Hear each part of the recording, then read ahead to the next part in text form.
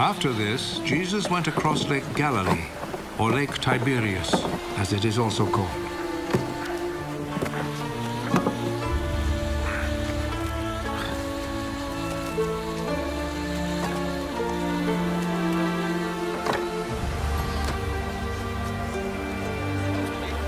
A large crowd followed him because they had seen his miracles of healing the sick.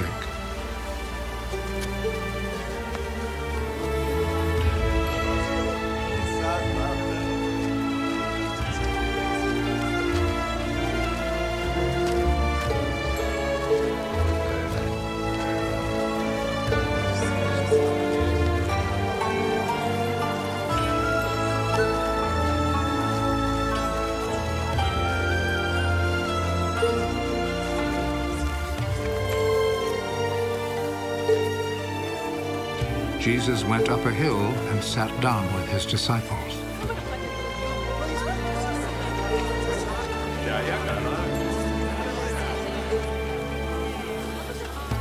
The time for the Passover festival was near. Jesus looked around and saw that a large crowd was coming to him.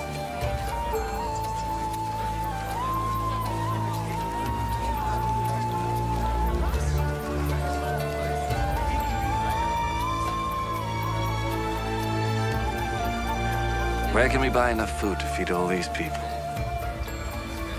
He said this to test Philip. Actually, he already knew what he would do.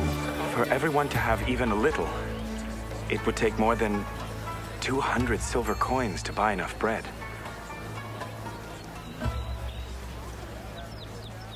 Another one of his disciples, Andrew, who was Simon Peter's brother, said, There is a boy here who has five loaves of barley bread and two fish.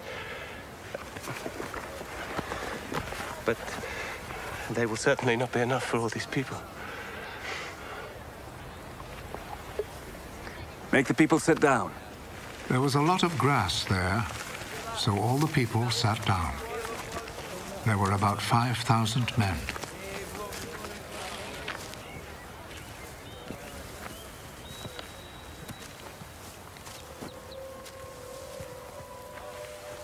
Jesus took the bread, gave thanks to God,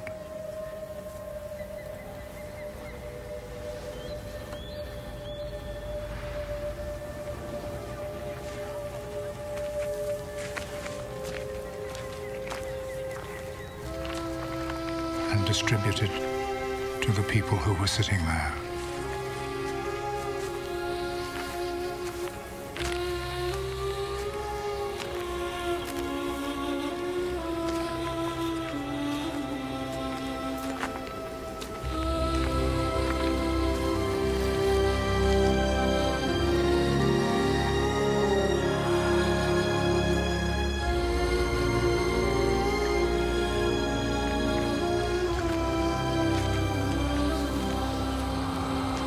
He did the same with the fish.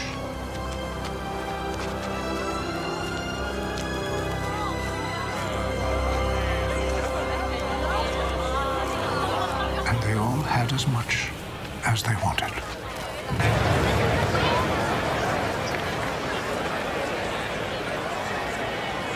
When they were all full, he said to his disciples, Gather the pieces left over. Let us not waste a bit. So they gathered them all and filled twelve baskets with the pieces left over from the five barley loaves which the people had eaten.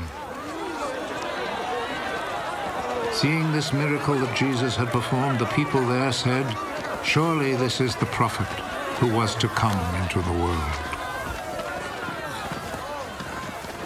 Jesus knew that they were about to come and seize him in order to make him king by force, so he went off again to the hills by himself.